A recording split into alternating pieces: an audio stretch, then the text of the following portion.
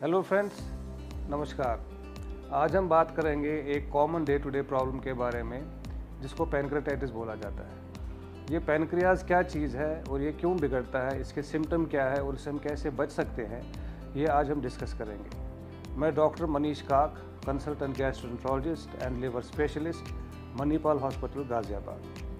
हमारा जो डाइजेशन होता है, जो हम खाना खाते हैं, उसमें 70 टू एट्टी परसेंट जो एक्शन होता है, वो पैनक्रियाज का होता है, जिसको अग्नाशय बोलते हैं।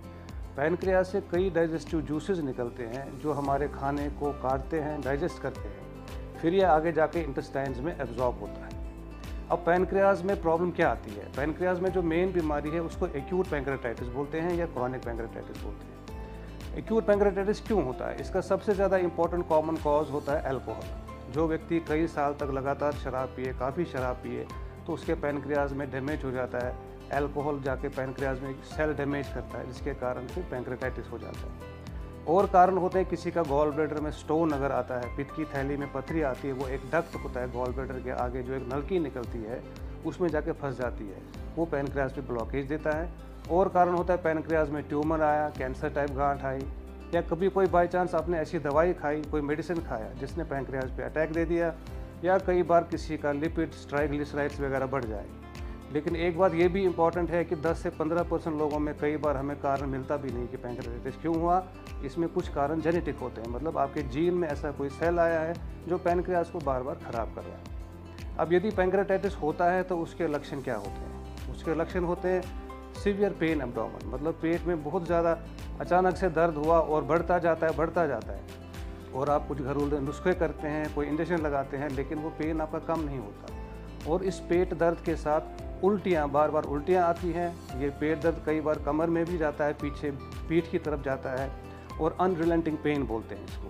ऐसा पेन होने पे आपको तुरंत हॉस्पिटल जाना चाहिए और इमिडिएटली इमरजेंसी में या किसी डॉक्टर से मिलना चाहिए, जो आपका बेसिक सा टेस्ट करेंगे, जिसको पैनक्रियाटिक लाइपेज और एमाइलेज ब्लड टेस्ट बोलते हैं, एक नॉर्मल सा अल्ट्रासाउंड होता है, जिसमें ये क्लियर होगा कि क्या वाकई आपको पैंक्रेटाइटिस हुआ है। और इन केस पैंक्रेटाइटिस हुआ है तो फिर इमीडिएटली हॉस्पिटलाइज होना पड़ता है एडमिट होना पड़ता है, और फर्दर ट्रीटमेंट फिर डॉक्टर अपने अनुसार चलाते हैं। अब पैंक्रेटाइटिस से बच कैसे सकते हैं? बचने के लिए बेस्ट और जो जो सटीक तरीका है वो ये है कि आपको अल्कोहल नहीं लेना है।